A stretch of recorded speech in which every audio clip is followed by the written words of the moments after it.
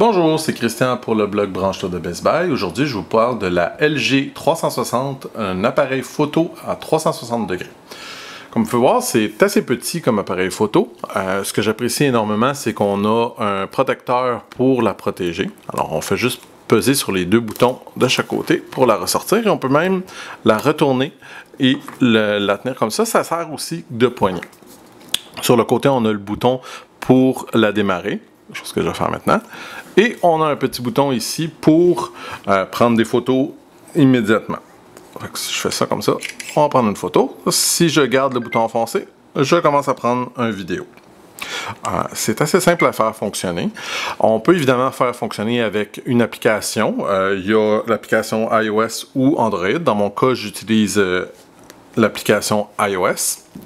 Je vais vous montrer avec mon iPad parce que c'est plus simple comme ça. Donc, on se connecte sur l'appareil photo via l'application et ensuite, ça c'est une petite limitation de euh, iOS, mais on doit ensuite connecter notre, euh, appareil photo dans le Wi-Fi ici. Maintenant qu'elle est connectée, on peut voir immédiatement dans la galerie les photos qu'on a prises auparavant ou les vidéos. là, on peut voir ici, vous avez quelques-uns des vidéos que j'ai pris tantôt là, à l'essai. Euh, la, chose qui est un petit peu ennuyante, c'est qu'on doit télécharger chacune des photos de, directement de l'appareil photo pour la voir. Ça peut être un peu agaçant, mais bon, c'est pas la fin du monde. comme vous pouvez voir dans la vidéo, on peut se promener dedans.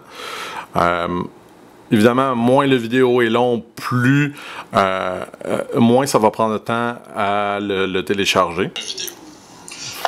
Comme vous pouvez voir ici il y a la possibilité de voir simplement les photos.